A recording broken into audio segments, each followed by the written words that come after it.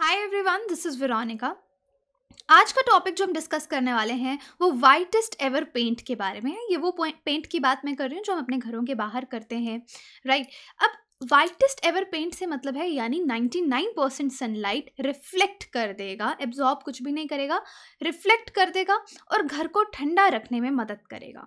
अब जैसे जैसे टेम्परेचर इंक्रीज हो रहा है ग्लोबल वार्मिंग हो रही है, हम लोग एयर कंडीशनर्स यूज़ करते हैं। एयर कंडीशनर्स एक डायरेक्ट रीज़न है ग्लोबल वार्मिंग का, राइट? इस तरह से हाइड्रोकार्बन क्लोरोफ्लोरोकार्बन उससे रिलीज़ होते हैं, जो कि ग्रीन हाउस गैसेज हैं आपकी और ग्लोबल वार्मिंग हो रही है। तो इसके बारे में हम डिटेल में जानेंगे कि आफ्टर ऑल ये डिस्कवरी क्या है। मेरे साथ आप जुड़ सकते हैं सोशल मीडिया पे फेसबुक इंस्टाग्राम टेलीग्राम कहीं पे भी। पीडीएफ जो है वो आपको सिर्फ़ और सिर्फ़ टेलीग्राम चैनल पे मिलेगा। तो ये डिस्कशन करते हैं शुरू। इंजीनियर्स जो है पर्ड्यू यूनिवर्सिटी के यूएसए की यूनिवर्सिटी है और ये रिसर्च लास्ट अक्टूबर 2020 के अराउंड हुई है। तो इन्होंने एक ऐसा पेंट जो है वो डिस्कवर किया है वाइटेस्ट पेंट बिल्डिंग्स को इससे कोट किया जाएगा, जो शायद उन बिल्डिंग्स को ठंडा रखने में मदद करेगा। कितना ठंडा ये मैं आगे आने वाले टाइम पे आपको स्लाइड पे बताऊँगी। और इतना ठंडा ज़रूर करेगा कि शायद एयर कंडीशनर की जो ज़रूरत है वो कम हो जाए। ये जो रिसर्चर्स हैं, उनका ऐसा मानना है। अब देखते हैं वाइटेस्ट पेंट इसको क्यों कहा गया है कि, देखिए अल्ट्रा वाइट पेंट अक्टूबर में जैसे मैंने आपको बताया, ये रिसर्च हुई। ओल्डर जो फॉर्मुलेशंस थी पेंट की, जो घर को ठंडा रखने में मदद करती थी, वो कैल्शियम कार्बोनेट से बनी होती थी, याद रखिए।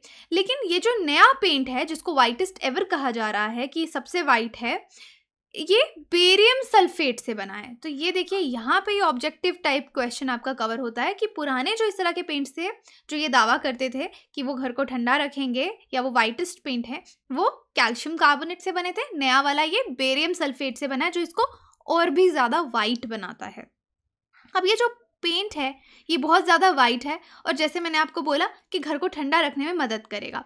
अगर इससे यहाँ पे एक आइडिया भी दे रखा है, ये जो नया पेंट है रूफ एरिया, छत का एरिया अगर हम इससे thousand square feet area cover करते हैं तो ये आपको कितनी पावर देगा? कूलिंग पावर कितनी देगा? टेन किलो वाट्स के आसपास आपको कूलिंग पावर मिलेगी वन थाउज़ेंड स्क्वायर फीट वाले एरिया में जहाँ पे आप ये पेंट करेंगे। अब मोस्टली अगर हम अवन्स यूज़ करते हैं तो यहाँ पे बता रखा है, एक जनरल कंपैरिजन दे रखा है, ताकि हमको रिलेटिव हम समझ पाएँ कि कितनी पावर है। Two point three kilo kilowatt जो है, वो आपको एक घंटे के लिए जो मोस्टली अवन्स जो होते हैं, वो इतना रन करते हैं। और three ton twelve seasonal energy efficiency ratio है एयर कंडीशनर की, जो यूज़ करता है ऑलमोस्ट थ्री किलो वाट एक घंटे के लिए राइट अब देखिए वाइटेस्ट एवर पेंट की अगर हम बात कर रहे हैं तो इसका ऑपोजिट क्या है? वैंटा ब्लैक का नाम आपने सुना होगा just for extra information Vanta black क्या है? ये 99.9 परसेंट विजिबल लाइट को एब्जॉर्ब कर लेता है, तभी हमको एकदम ब्लैक दिखता है। हम ऐसे कभी कुछ खरीदने भी जाते हैं तो बोलते हैं, एकदम जेट ब्लैक दिखाइए। तो ब्लैक का क्या मतलब है? वो सारी की सारी लाइट को एब्जॉर्ब कर लेता है स्केप नहीं करने देता। तो Vanta black maximum visible light को एब्जॉर्ब करता है नाइन्टी परसेंट अब ये कलर्स हमको आखिरकार किस तरीके से दिखते हैं, इसके बारे में भी हम बात करेंगे। बट यहाँ पे थोड़ा सा कंपेयर कर लेते हैं। ये जो नया पेंट दावा कर रहा है कि इतना ही लाइट रिफ्लेक्ट करेगा कमर्शियल वाइट पेंट जो आज तक हम यूज़ करते हैं, वो गर्म हो जाते हैं। इतना ठंडा नहीं कर पाते। मार्केट में जितने भी डिज़ाइन आज तक अवेलेबल हैं, वो हीट को रिजेक्ट नहीं कर पाते। 80 टू 90 परसेंट ही वो रिफ्लेक्ट कर पाते हैं सनलाइट को। इसलिए सरफेस को, वो सराउंडिंग के कंपैरेटिवली कूल नहीं कर पाते। ये मैं उनको कंपेयर कर रही हूँ, अभी तक जो मार्केट में अवेलेबल हैं, जो 80 से 90 परसेंट रिफ्लेक्ट करते हैं। अब देखिए, यहाँ पे सवाल पैदा होता है कि हमको कलर्स दिखते कैसे हैं? अगर हम वेंटा ब्लैक की बात कर रहे हैं कि वो कलर विजिबल लाइट को एब्जॉर्ब कर रहा है तो ब्लैक दिख रहा है। और बाकी हम कलर्स देखते हैं, हमारे घर पर सोफ़ा है, कोई ग्रीन कलर का है ब्लू कलर का है राइट तो इस चीज़ को हम अंडरस्टैंड करते हैं।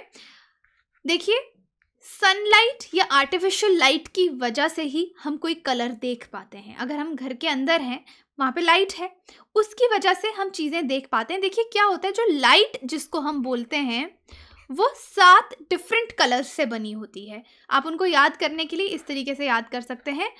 VIBGYOR okay VIBGYOR okay V से आपका वॉयलेट कलर आ गया आई से इंडिगो बी से blue green yellow orange and red ये लाइट की डिफरेंट डिफरेंट वेवलेंथ्स हैं। रेड लाइट की सबसे ज़्यादा वेवलेंथ वेवलेंथ मानी जाती है राइट right? फिर हर एक लाइट की अलग वेवलेंथ है। अब देखिए क्या होता है कि सपोज़ आपके घर में सोफा है, यहाँ पे एग्जांपल देखिए, वो ग्रीन कलर का आपको दिख रहा है। क्यों दिख रहा है? क्योंकि वो इस तरह के कपड़े का बना है, इस तरह के फैब्रिक का बना है, उसमें ऐसा मटेरियल यूज़ हुआ है, जो सारे कलर्स को एब्जॉर्ब कर लेता है, बस ग्रीन कलर को रिफ्लेक्ट बैक कर देता है। और जिस कलर को रिफ्लेक्ट बैक करेगा, वो कलर आपको दिखेगा। तो यानी आपको अगर कोई चीज़ ऑरेंज दिख रही है या यहाँ पे हम ग्रीन की बात करें या वॉयलेट दिख रही है तो इसका क्या मतलब है कि वो बाकी सारे कलर्स विबज्योर में जो, जितने कलर्स मैंने आपको बताए हैं, बाकी सारे कलर्स को एब्जॉर्ब कर लेगा, वो पर्टिकुलर कलर रिफ्लेक्ट बैक करेगा, इसलिए आपको वो कलर दिखता है। इसका ये मतलब है कि जो कलर किसी भी ऑब्जेक्ट का है, वो क्या डिटर्मिन किस चीज़ पे डिपेंड करता है कि जो वो फैब्रिक है, वो वेवलेंथ एब्जॉर्ब करता है या रिफ्लेक्ट बैक करता है तो आपको उस अकॉर्डिंग आपकी आईज जो हैं, वो कलर देखेंगी। फॉर एग्ज़ाम्पल यहाँ पे एक और एग्ज़ाम्पल दे रखी है कि आइसक्रीम की। कि आपको ice cream vanilla ice cream white colour की नज़र आती है, या प्लेन वाइट वॉल को अगर आप देखते हैं, वो आपको एकदम से वाइट नज़र आती है। क्यों? क्योंकि वो सारे कलर्स को रिफ्लेक्ट बैक करता है वाइट वो कुछ भी एब्जॉर्ब नहीं करता राइट तो कुछ भी एब्जॉर्ब नहीं करेगा सारी वेवलेंथ्स को एक ही बार रिफ्लेक्ट करेगा तो सारी कलर्स मिक्स होके आपको वाइट कलर दिखेगा. इसका मतलब entire spectrum of this coloured wavelength is reflected from the surface तो आपको वाइट कलर जो है आपकी आइज़ को दिखेगा. सो so, ये मैकेनिज्म है विबज्योर का जैसे वेवलेंथ्स डिपेंड करती हैं लाइट्स की कि एब्जॉर्ब हो रही है रिफ्लेक्ट हो रही है वो कलर आपको नज़र आएगा. अब यहाँ पे एक पॉइंट और है। देखिए, ये विबज्योर के कलर्स की वेवलेंथ यहाँ पे बता रखी है। अब वेवलेंथ रेड की सबसे ज़्यादा होती है और शॉर्टेस्ट आपको वायलेट वॉयलेट की वेवलेंथ नज़र आएगी। रेड एक और एग्जांपल मैं आपको देती हूँ। आपने देखा होगा शाम को स्काई जो होता है थोड़ा सा रेड रेज नज़र आता है। क्यों? क्योंकि सन से जब लाइट आ रही है लॉन्गेस्ट वेवलेंथ रेड होती है, वही पहुँच पाती है अर्थ तक, इसलिए हमको आसमान कभी शाम को थोड़ा रेडिश दिखता है। Okay I hope you got this point अब यहाँ पे थोड़ी सी बात मैं आपको इलेक्ट्रॉन्स की भी बताती हूँ. एब्जॉर्प्शन और रिफ्लेक्शन किस पे डिपेंड करती है? इलेक्ट्रॉन्स के अरेंजमेंट पे. कोई भी आटम है, कोई भी लाइफ का बिल्डिंग ब्लॉक है आटम है, वो किस चीज़ का बना है? इलेक्ट्रॉन्स का प्रोटॉन्स का और न्यूट्रॉन्स का इनके अरेंजमेंट पे बहुत कुछ डिपेंड करता है। ये जो थ्री पार्टिकल्स हैं यूनिवर्स में कुछ भी है, वो इन चीज़ों से बना है। आपके mountains planets humans pizza cake everything तो अगर कोई चीज़ ऑब्जेक्ट उसका ब्लैक आपको नज़र आ रहा है, इसका यही मतलब है कि सारी वेवलेंथ्स को वो एब्जॉर्ब कर रहा है राइट right? बिल्कुल भी लाइट को रिफ्लेक्ट नहीं कर रहा तो आपको ब्लैक नज़र आ रहा है। तो यहाँ पे कहने का मतलब है, एक तो किसी आपको क्या कलर नज़र आ रहा है किसी चीज़ का? वो उसकी वेवलेंथ पे डिपेंड करता है कलर की। उसके बाद जिस चीज़ का वो बना है फैब्रिक या जो भी मटेरियल का बना है, उसके एटम्स का अरेंजमेंट कैसा है, वो क्या एब्जॉर्ब करेंगे, क्या रिफ्लेक्ट करेंगे, इन चीज़ों पे डिपेंड करता है। फिर हमारी आइज़ को वो चीज़ें वैसी दिखती हैं।